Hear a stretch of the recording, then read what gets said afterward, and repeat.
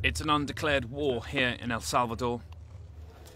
Elite police against MS 13, a gang menace that beheads, rapes, and terrorizes. And it's America's war, too, because President Trump has declared MS 13 animals that must be eliminated, and these men are fighting with US money and help. A lot of this equipment American government supplied, part of an effort to try and tackle gang violence back in El Salvador. These men, the Jaguar unit, say their targets are gang leaders to cripple the gang hierarchy. The US participate in training as well as providing equipment.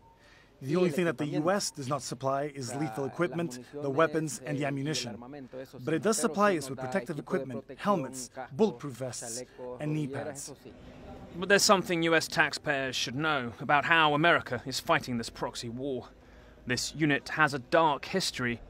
Many once in an elite unit called the Special Reaction Forces, the FES or FES. It was disbanded after troubling allegations. The FES had a very lethal track record on the street, killing a staggering 43 people they say were gang members in just six months last year.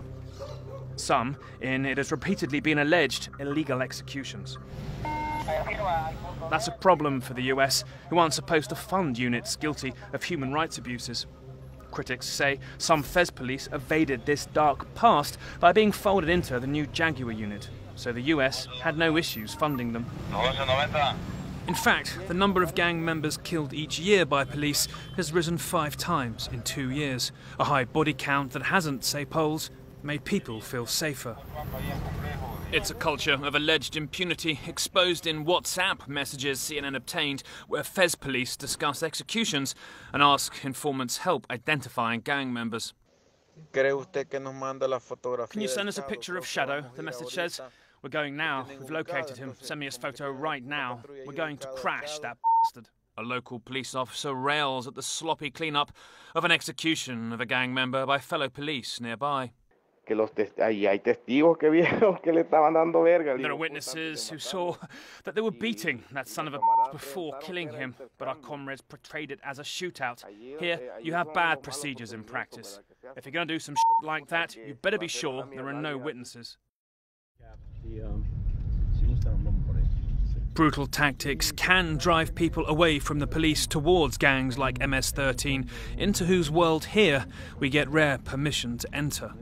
We're headed now to one of the scenes of the more prominent killings here, deep inside gang territory, carried out by what locals here say was effectively a police death squad. Nobody disputes that Eclipse, as he was known, was a local gang figure. But they do dispute that Eclipse was armed when police shot him dead. Neighbors say it was simply an execution. They came inside and a little time passed. They're screaming, hand in your weapons. And they replied, there they are, mister. They're surrendering. And all of a sudden, we heard the first shot. And after hearing the first, there was some silence. And after, another four shots were fired. His distraught mother shows us the scene, his bedroom. Here he was, lying down, his hands like this, as if he had been sleeping. They killed my son. She claims they shot him in the back. They say the police never come round here now. This case was investigated, but charges weren't filed. Police rarely, if ever, prosecute their own. In fact, one of the officers accused in this shooting likely now serves in the new Jaguar unit. Using his photograph, a facial recognition expert who used to work for British police identified him in our footage of the new Jaguar unit. These images are very, very clear, very good images. I'm 85% certain, at least, that this is one and the same person I'm looking at. An officer accused of a killing in the old unit, the FES, is likely in the new one, the Jaguars. A forthcoming UN report will declare a pattern of behaviour by security personnel amounting to extrajudicial executions. Salvadoran police replied they are fighting, quote, terrorists and often arrest them without the use of arms while keeping human rights paramount. More than 200 officers faced court for improper armed aggression last year, they said. There's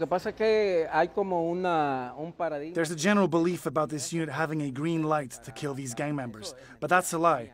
This does not happen here, not in any other country.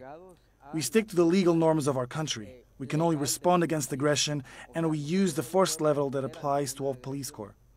And as last resort, we fire our weapons. In a statement, the US Embassy said the US government takes allegations of extrajudicial killings extremely seriously and has consistently expressed concerns regarding allegations of security force abuses. It provides assistance to investigate, prosecute, and adjudicate all types of violent crimes, including those involving suspected human rights violations. They added the US recently provided 500 body cams and tracks alleged abuses so no corrupt officers get their help. The US has tried brute force here and elsewhere before and failed or gotten caught in a longer conflict. As the threat of MS 13 rises, they will have to hope the gangs crumble rather than escalate the fight. Nick Paton Walsh, CNN, San Salvador.